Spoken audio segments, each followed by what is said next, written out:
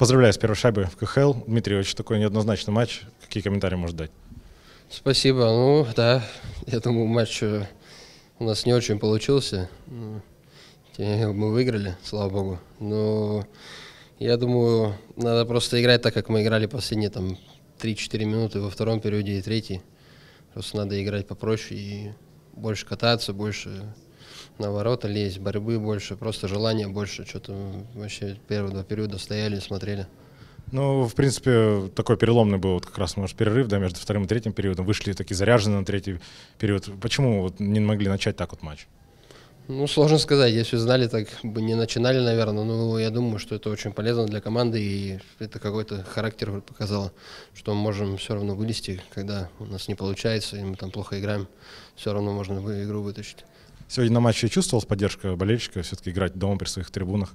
Да, конечно, всегда чувствуется.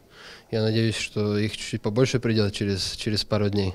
Будет э, очень интересная игра, я думаю, и, э, конечно, нам всегда их поддержка нужна и очень, очень приятно.